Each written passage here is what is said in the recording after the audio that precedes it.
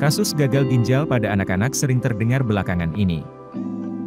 Kasus gangguan ginjal tersebut menyebabkan anak-anak harus menjalani tindakan cuci darah di sejumlah rumah sakit seperti di RS Cipto Mangunkusumo, Jakarta. Nah, agar buah hati Anda tak terkena gagal ginjal, Ira Purnamasari, pakar kesehatan dan dosen Fakultas Ilmu Kesehatan, FIK, Universitas Muhammadiyah, UM, Surabaya memberi sejumlah saran. Pertama, anak-anak harus dibiasakan minum air putih secara cukup tiap hari.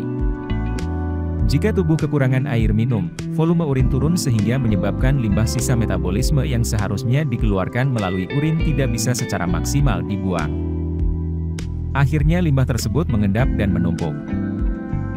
Dalam jangka panjang akan mengakibatkan batu ginjal hingga gagal ginjal.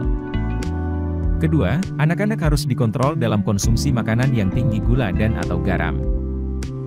Tingginya kadar gula dalam darah juga dapat menyebabkan anak terkena diabetes. Kondisi ini dapat menyebabkan kerusakan pembuluh darah termasuk pembuluh darah yang ada di ginjal.